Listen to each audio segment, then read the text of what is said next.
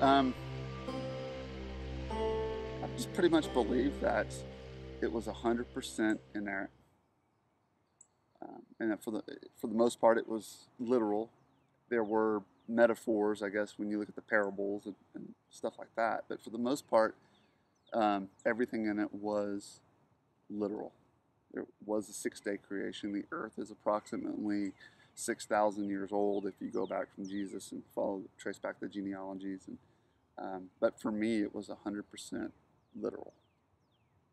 So maybe the author of it wasn't as important as the message?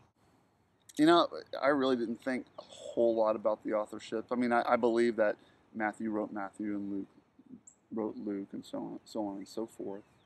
Um, but what evidence do we have of that? You know, they, they write in third person, which is a little awkward and weird. Um, and a lot of scholars that I've read talk about they're really anonymous books, the Gospels.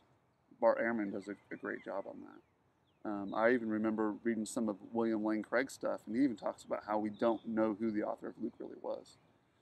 You know, so we have an apologist admitting that. That's in his book. Um, um, gosh, what is that? On guard. Um, so, but I didn't know all this stuff. I didn't realize all this stuff. I wasn't really into textual criticism at the time. But once I started reading and, and studying and, and, learning and looking at both sides of the coin, I was really surprised that um, um, we don't know as much about the authors as, as, as we think. What deterred you from accepting a more fluid and maybe metaphorical interpretation of the Bible? Probably because I, I was a, a little bit more uh, fundamental and, and conservative within my Christianity. Um, yes, my parents were a little bit more liberal, but I did grow up in the um, Christian culture. And then in high school, again, after becoming a Christian, I became very evangelical. Um, so I, evangelicals are not flexible when it comes to Scripture. You know, it, it is what it is. Um, it's, it's God's Word. There are no errors. And so I was not flexible at all whatsoever. But a, a person who's more liberal um, within their Christianity, grew up in a more uh, liberal denomination, there's a lot more flexibility in there about it maybe not being 100% liberal uh, or 100% literal. Mm-hmm.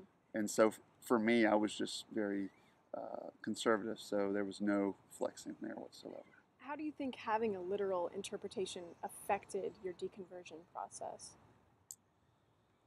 Oh, wow. That's a good question. You know, it, it, it withstood it for years.